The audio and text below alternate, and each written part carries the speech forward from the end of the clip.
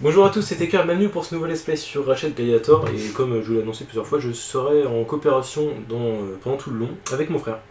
Yo tout le monde, c'est Sky, donc comme a si bien dit mon frère, on se retrouve pour un let's play en coopération.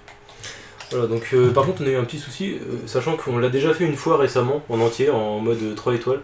En fait, il y a, il y a 5 niveaux de difficulté, donc bah, de 1, d'une étoile à 5 étoiles, et le mode 5 étoiles se débloque une fois qu'on a terminé le jeu une fois, mais là on ne sait pas pourquoi on peut pas. Enfin, quand on est en nouvelle partie, en gros, on peut aller jusque jusqu'à 4, donc bah, malheureusement on va devoir le faire en, en 4 étoiles. Bon, ce qui sera peut-être un peu plus facile que prévu, mais bon, c'est pas Ouais. grave, on va faire avec. Ce sera toujours plus dur que ce qu'on a fait euh, la dernière fois. Quoi. Ouais, j'avoue. Ouais, on avait fait 3 étoiles, c'est ça? Euh, ouais. Ouais. Ouais, ouais. On veut- Puis voilà, je pense qu'on va avoir une petite cinématique pour le début, donc on va vous laisser.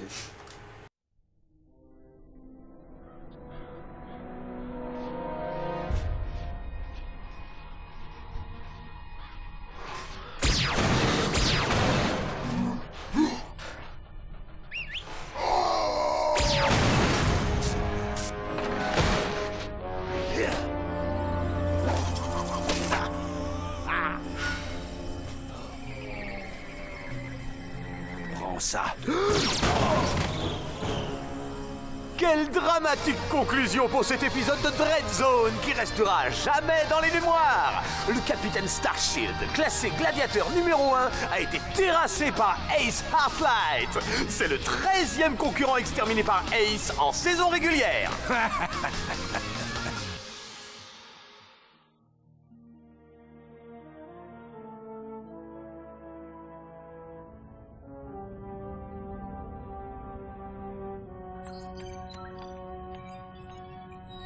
Un appel du maire de Métropolis. Le oh, nouveau maire de Métropolis. Hein? Euh, euh, Oui, bien sûr, oui. euh, une petite seconde. euh, euh, bonjour, maire. Je... Euh, non, non, ça c'est pas terrible, ça. Euh, tiens, ça fait une paye. Non, alors... Ah, il fait beau, Métropolis, chérie Oh, Bonjour, capitaine. Je vois que tu prends soin de mon cher vaisseau.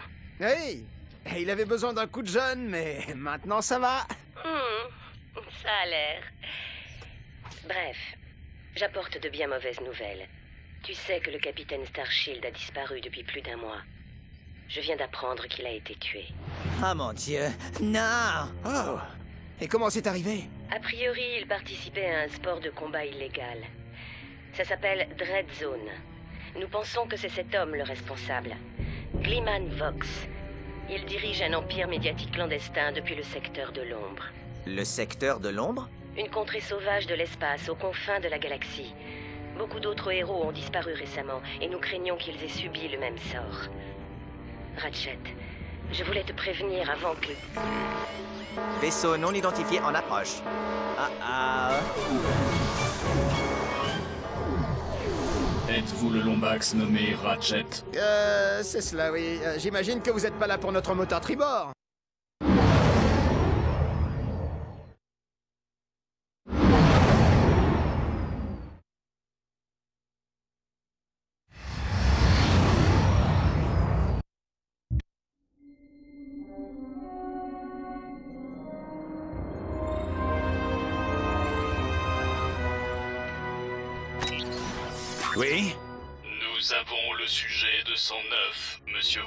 Excellent. Amenez-le.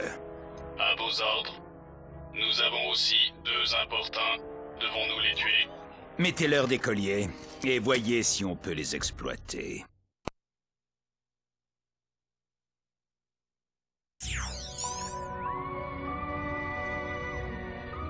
Eh oh Ça va là-dedans Tu m'entends?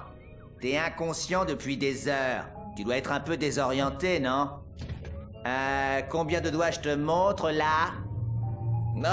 On a une boucle d'asservissement dans la matrice du processeur visuel. Attends une seconde. C'est mieux? Ok, maintenant activons la fonction micro.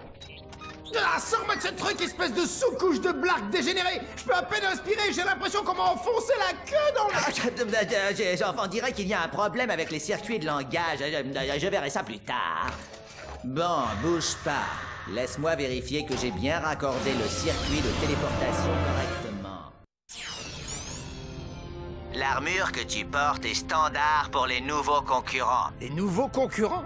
On t'expliquera plus tard. Si tu ne réussis pas les qualifications dans le temps imparti, nous serons tous exterminés. Voilà, donc comme vous avez pu voir, bah, euh, Ratchet a été euh, kidnappé pour euh, Dread Zone, donc on sait pas encore trop ce que c'est. Ouais. Mais euh, bon là on a un petit tutoriel donc on s'en fout un petit peu et Ouais, pendant ce temps-là bah, je vais te proposer en fait de, bah, de présenter, même si tu l'as déjà fait plusieurs fois dans les vidéos, mais étant donné que tu as une nouvelle chaîne maintenant, je, je pense que ce serait sympa de, bah, de te présenter euh, à mes abonnés. Donc euh, ouais bah sur ma chaîne, euh, donc pour ceux qui savent, qui connaissent pas le monde de Sky, je présente plusieurs programmes qui sont, je vais pas dire variés, mais en ce moment je, je sors du nouveau contenu. Euh, je fais essentiellement du Minecraft, euh, très prochainement euh, du Cube pour ceux que ça intéresse. Et je vais également commencer un let's play sur les Simpsons Hit un jeu qui me fait assez marrer quand j'étais petit. Alors du coup, bah, je me suis dit que j'allais le faire avec, bah, avec mes abonnés. Voilà, donc bah voilà. Voilà, bah, de toute façon le lien sera dans la description, vous pourrez aller voir ça euh, bah, euh, bah, dans la description tout simplement. Et, euh, et donc là sinon pour ceux qui connaissent Ratchet Gladiator, vous remarquez qu'on a trois armes. Alors normalement on en a que deux à la base, mais là on a une troisième qui est débloquée en coopération, donc c'est une petite facilité de plus on va dire. Ouais. Bonjour, héros, et bienvenue dans Dread Zone. Sache que désormais tout espoir est vain. Il n'y aura pas d'assistance, pas de pardon, pas de possibilité d'évasion. Tu es maintenant un candidat du plus génial des programmes d'holovision diffusés dans la galaxie. Un gladiateur célèbre qui combat pour le plaisir d'un milliard de fans en délire dans tout le secteur de l'ombre et au-delà. Il y a de fortes chances que tu sois mort d'ici demain. Mais si tu parviens à jouer avec brio et stratégie, tu auras une chance de retrouver ta Alors, bon courage, héros. On t'a à l'œil.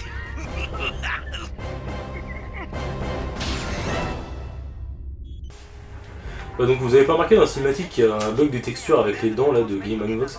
Euh, c'est un des très rares bugs euh, qu'il y a bah, au niveau des cinématiques. Mais sinon il y a un gros problème. Le jeu est beaucoup moins buggé que Ratchet Clank 3.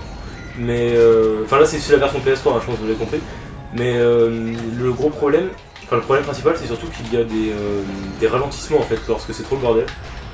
Et ça c'est quelque chose que nous a bien emmerdé d'ailleurs. Mais ils sont assez fréquents ces ralentissements d'ailleurs, donc j'espère qu'on n'aura pas trop de problèmes avec. Ouais, c'est vrai que c'était assez gênant la dernière fois. Ouais. Regarde ce collier de sécurité attaché autour de ton cou. Il ne peut être ni brisé ni enlevé. Si tu devais t'égarer dans une zone interdite, ce collier te délivrerait une décharge électrique très douloureuse. Regarde. Je hais ce job.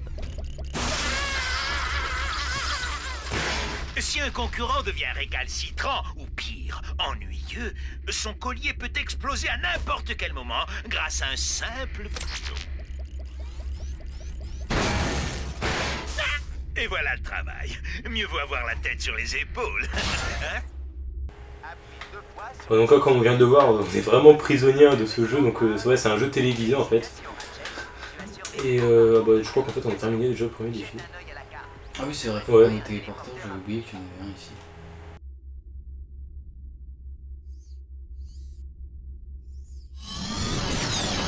Waouh, cet endroit est dingue Oh, j'ai toujours eu envie d'être un gladiateur professionnel Ces gars-là ont la belle vie La gloire, l'argent, les filles Essaie de garder en tête que nous avons été faits prisonniers par une organisation criminelle. Ce n'est pas le moment de fantasmer, Ratchet. Euh, voilà, donc là je sais pas trop ce qu'on a à faire pour l'instant. Bah faut aller. Ah oui, c'est vrai, qu'est-ce qu'on a là-dedans Moi, là Je remets les munitions. Ouais.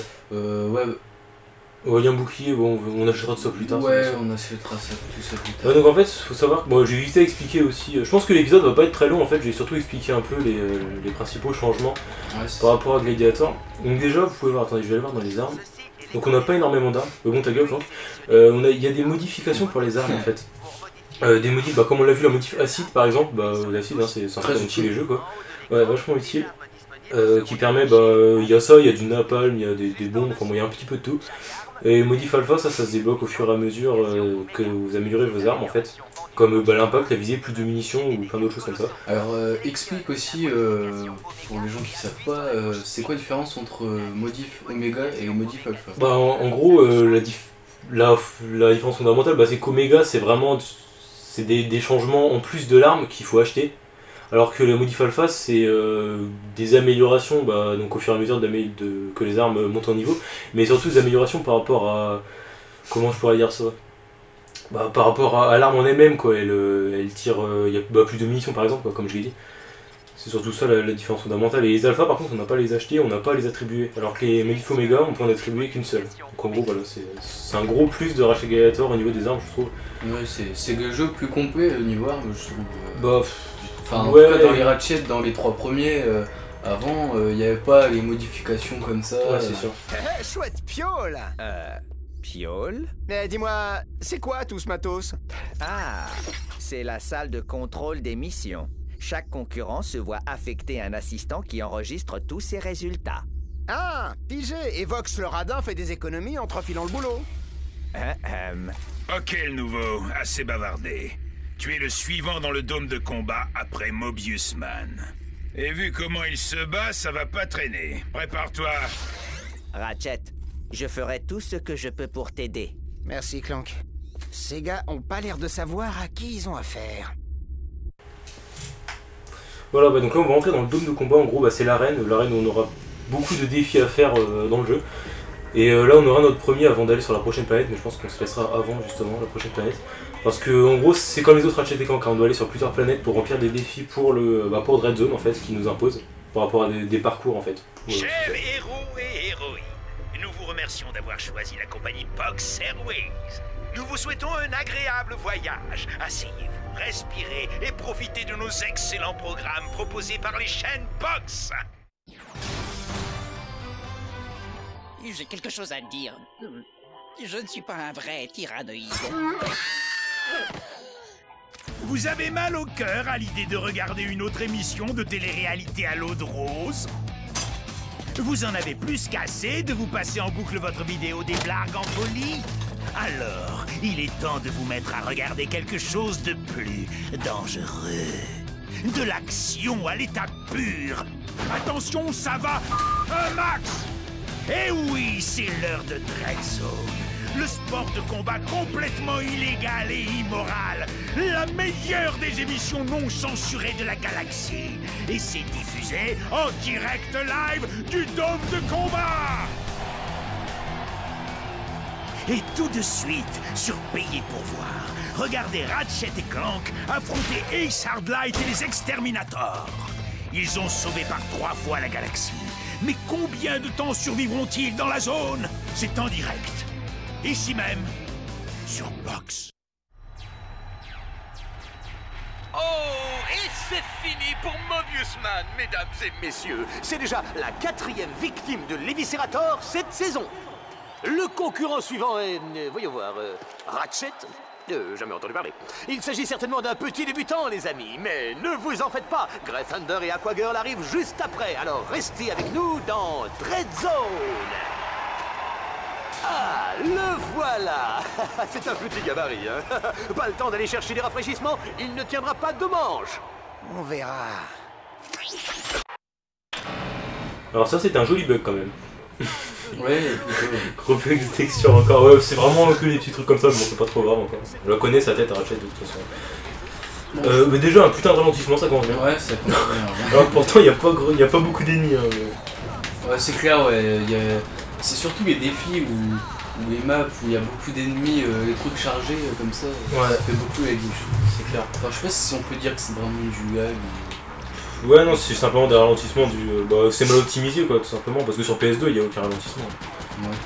C'est juste mal foutu. Oh, j'ai sauté à la James Bond. là. Donc, sinon, ouais, pour euh, parler vite fait du gameplay, parce que c'est totalement différent hein, en coopération, normalement, on a deux robots avec nous. Euh, deux robots bah, qui nous aident à plusieurs trucs, à tourner des nœuds par exemple, enfin des franco-boulons. ou alors à nous protéger pendant qu'on le fait, enfin bon, plein d'autres choses. Et cette fois-ci, c'est nous qui devons tout faire en fait. On doit, en gros, on doit, on doit s'entraîner euh, par rapport à, bah, aux trucs qu'on a à remplir quoi. Alors on a tous les deux les gadgets que les robots ils ont, par exemple euh, Merde. Pirator, je sais pas comment ça s'appelle. Ouais, Euh, on, a, on, a, on a tous les deux les mêmes fonctions que les robots ils ont euh, normalement ouais. en mode solo. Ouais, voilà, en gros, c'est ça. Et aussi pendant la cinématique, on a vu 4 bah, quatre ennemis en fait qui seront 4 boss. 4 boss euh, principaux du, du jeu. Bon, j'en dis pas plus, euh, vous verrez bien assez tôt. Euh, J'ai déjà plus de munitions, c'est génial. Et aussi, vous l'avez remarqué, je pense, on peut pas utiliser la même arme en même temps. Et donc, euh, bon, faut se coordonner un minimum là-dessus, mais c'est un peu gênant par rapport aux munitions, du coup, vu qu'on utilise deux fois plus vite les munitions. Ça, ça aide, ça aide pas trop. Mais bon. On a tous les deux notre arme fétiche en fait. hein. Ouais, Mon exactement. frère étant toujours avec le dieu Hyper, puis moi toujours avec euh, Canon Magma. Ouais, Sauf que là, euh, moi j'adore les- le fait d'avoir deux armes, euh, enfin deux pistolets Stylé. dans les mains, je trouve ça stylé, ouais, c'est- Ouais. c'est assez, c'est assez stylé. Donc vous voyez là par exemple, on a un point couplon à tourner, bah simplement un qui doit couvrir l'autre pendant que l'autre le tourne. Bon bah Sauf que là, je viens de me faire niquer. Oui, moi aussi. Ah Mais un peu, mort, munitions là. J'ai pas de munitions là, je suis déjà crevé. Ouais, bah moi euh, j'essaie de te Non, couvrir, mais- non, putain, je suis mort. Ouais, c'est bon. Ouais. À une seconde près, c'est. Ouais, c'est clair. Oui, parce quoi. que si on est mort en même temps, en fait, on a perdu et Ouais. s'en- Enfin, pas tout, mais je veux dire, faut Ouais. commencer la mission. C'est ça qui rend le truc vraiment, je dirais pas très facile, mais bon, euh, c'est une grande facilité de plus euh, par rapport au mode, euh, Moi je fais le au mode coop, ouais. Par rapport au mode coop, bah, c'est que du coup, si on crève une fois, bah, on n'a pas à recommencer quoi. Simplement, faut que l'autre survive pendant ce temps-là. Donc, c'est- pas trop difficile euh, grâce à ça.